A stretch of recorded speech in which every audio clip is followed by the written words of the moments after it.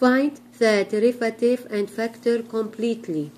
g of t equal sine t minus tangent t.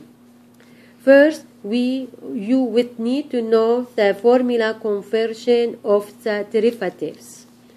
Derivative of sine t is cosine t and derivative of tangent t is secant square t.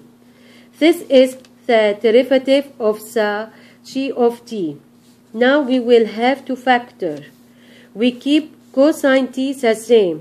We change secant square t become 1 over cosine square t. Then we will subtract cosine t from 1 over cosine square t by using the fraction rule.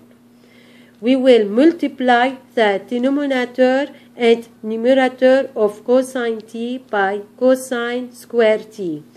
Come up with this answer. Cosine cube t minus 1 over cosine square t. Next, we notice on the numerator the factoring formula of a cube minus p cube equal a minus p times a, a square plus ab plus p square.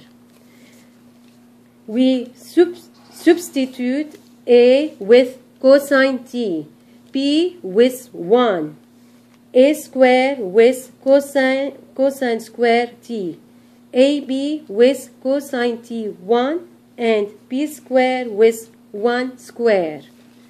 There we will come with the final answer of cosine t minus 1 times cosine square t plus cosine t plus 1 over cosine square t.